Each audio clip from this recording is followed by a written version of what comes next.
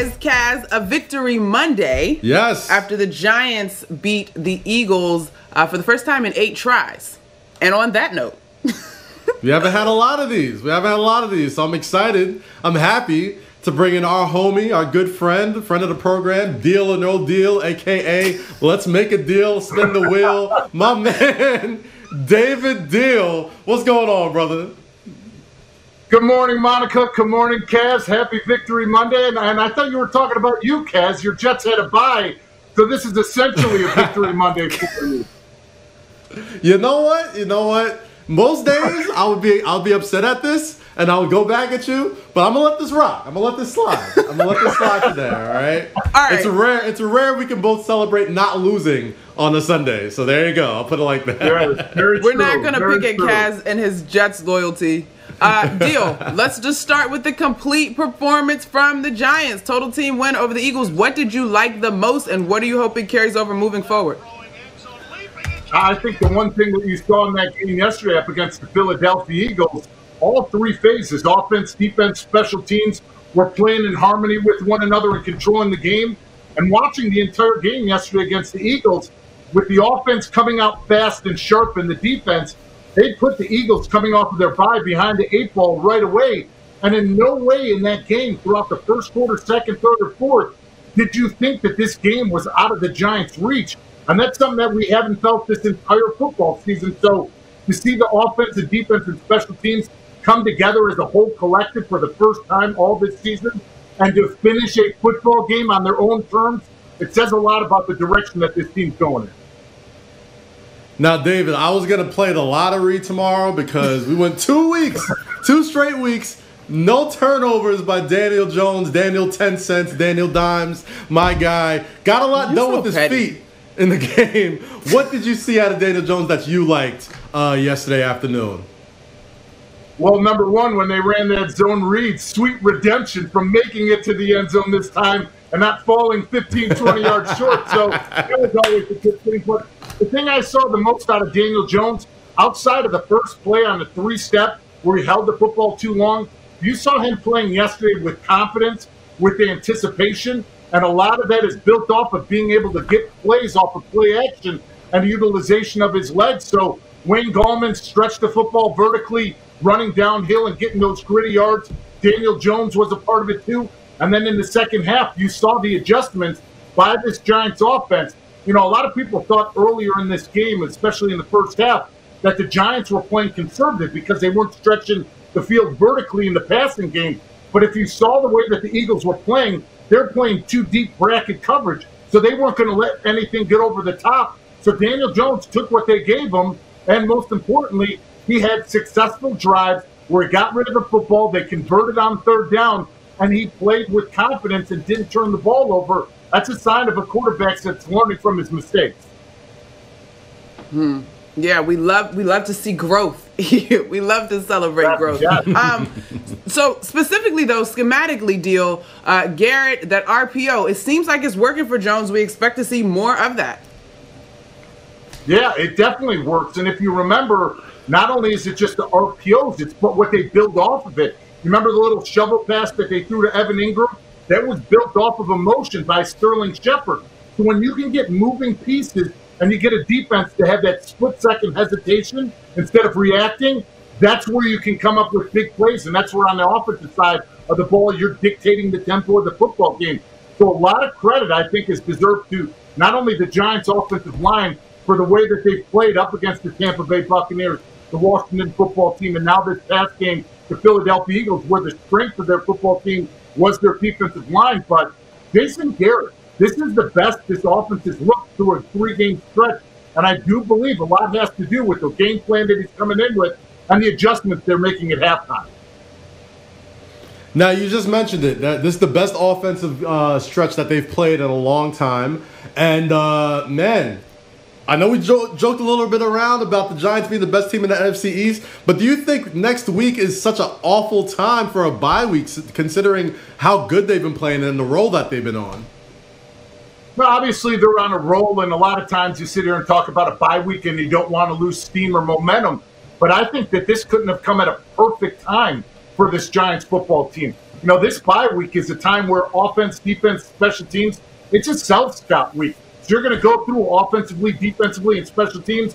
What do we do well? What do we need to make improvements on? And each individual player from their coach is going to receive a sheet of all the individual technique fundamentals that they need to improve in their game to go moving forward and to play this season and to help their football team win games. So I think it's a time to get mentally healthy, physically healthy for a big push because as Joe Judge said in his press conference after, yeah, this is a great win, but I'm paraphrasing, it doesn't guarantee a damn thing in the future. It's about them capitalizing on each and every opportunity. And even though it's a cliche, taking one game at a time, that's the only thing this Giants team can do.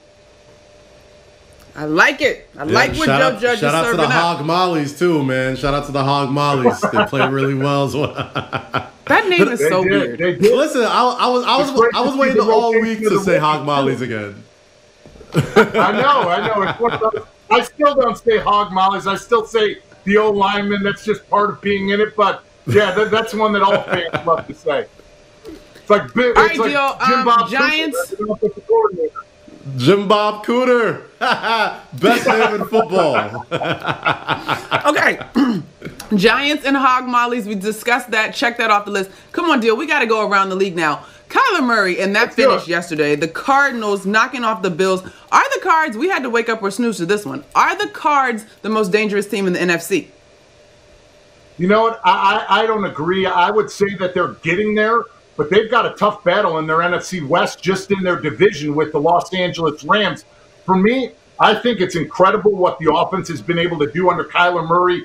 Obviously, he is absolutely electric when he has the football in his hands, not only running it, but making big plays like the one that he threw, the, the Hail Murray for the touchdown to DeAndre Hopkins.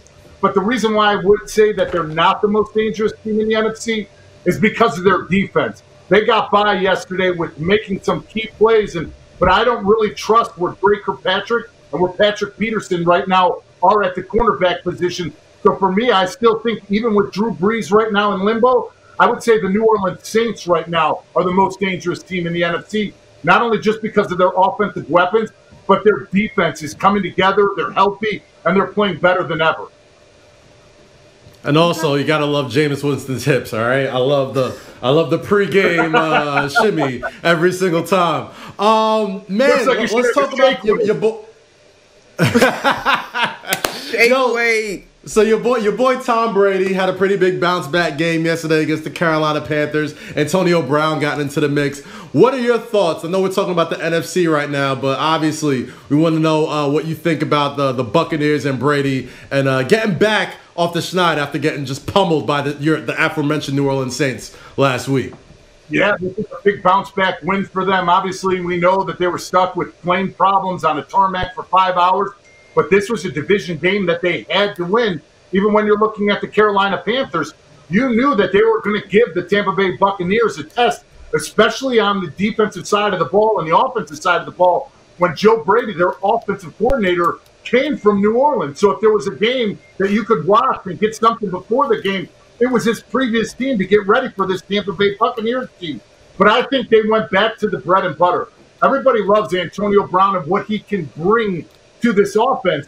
But this offense is at its best when they're running the football downhill, and Tom Brady is building everything off of play action where they're using their two tight ends. So, as much as it was exciting to see Antonio Brown showing up in their lineup, I don't think that's going to be the key for them winning football games. I think Ronald Jones, uh, uh, Leonard Fournette, letting this offensive line pick up, running two tight end systems, that's what opens up everything for the deep passing game for the Tampa Bay Buccaneers.